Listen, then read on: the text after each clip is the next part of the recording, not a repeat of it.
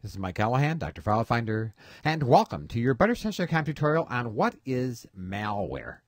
It can get really confusing out there. You hear about viruses and spyware and keyloggers and trojans and worms and now malware. Well, malware is really a catch-all. If we look in the dictionary, mal means bad or wrongful or ill, like malfunction is a function that's bad.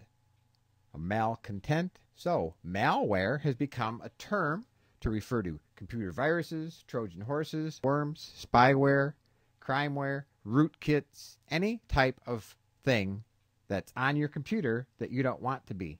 So basically, malware has become a catch all phrase for all of those other things rather than say, well, my software protect, protects against viruses and worms and Trojans, oh my. You can say it protects against all forms of malware. So malware is just a term that stands for malicious software. And that's all there is to it.